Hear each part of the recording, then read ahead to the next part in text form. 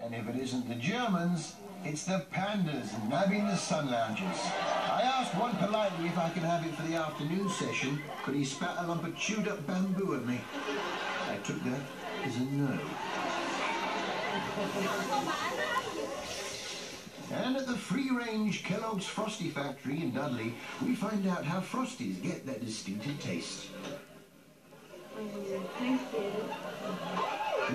Tree air freshener's gonna shift that, sweetheart. It stinks. What's this? Barbara Windsor washing her hair.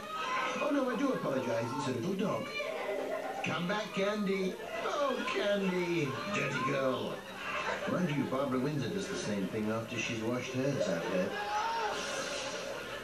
At 55, can anyone understand a word this cat is saying? Oh, no, no. Well done.